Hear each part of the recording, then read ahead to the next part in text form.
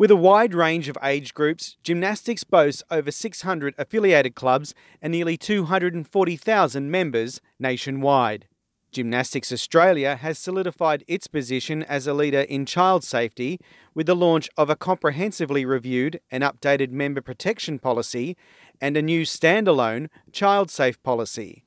Now in effect, the two policies have been supported by a child safe commitment statement co signed by Gymnastics Australia CEO Kitty Chiller and the executive directors of all eight Gymnastics Australia Association members. To be honest, I almost see it as, as gymnastics' role and the role of Gymnastics Australia to take a lead on this in terms of the Australian sports sector. Because of the cohort and the demographic of our membership, with over 90% being female and under 12, uh, there's a few other sports like that in Australia, but I see that it's our role to really take a leading stance on this and hopefully to provide best practice that we can share with other national sporting organisations and that everyone can benefit from. General Manager and Head Coach of BTYC Gymnastics in Victoria, David Hunsdale, welcomed the continued push to make gymnastics the most child safe environment possible.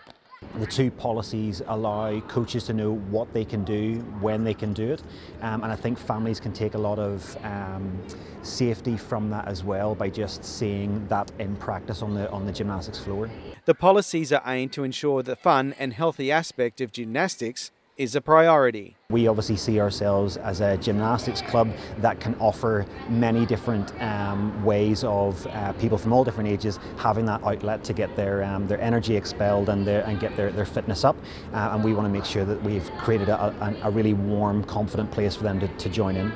I think above anything else, having these policies will make the sport even more fun and more accessible and more inclusive because everyone who wants to join a gymnastics club or is thinking of joining a gymnastics club will know that it's in good hands and that there are policies and there are protection measures in place to make sure that their little daughter or their little son can go there, feel safe and have a great time.